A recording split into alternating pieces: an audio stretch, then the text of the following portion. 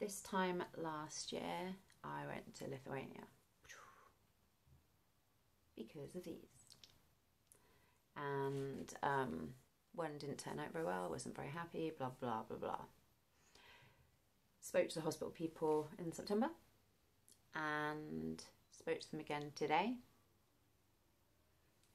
So things are looking positive. I still cannot say that I have voluntarily paid to give myself muscle damage in my left arm. Um, it's been really excruciating, but it's got better recently. um, so I'm hoping that when I get this fixed, if something's leaning on the wrong thing, if I lift this arm up, I have a thick line like a straw. Um, so I'm hoping to get it fixed. I'm hoping to get it fixed. So fingers crossed. Um, that would be really good. That would be really good. A year now I was on an aeroplane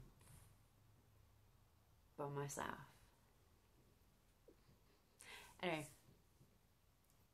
yeah, I do believe I said everything. Yes. Don't think I missed anything out at all. Yes, I did. Because I have to have this done again